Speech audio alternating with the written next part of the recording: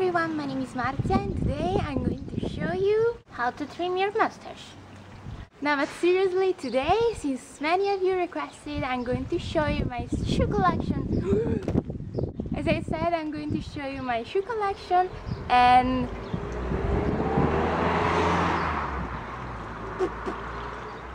someone challenged me on Facebook asking me like he wanted to see how many if I have more than 100 shoes and I said challenge accepted.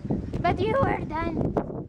Are you there marzipan but the thing is that I think I have more than a 100 but I don't think it will be really uh, interesting for you to see a bunch of shoes. So I prefer to choose the one that I'm using this summer or maybe that I have been using lately anyway.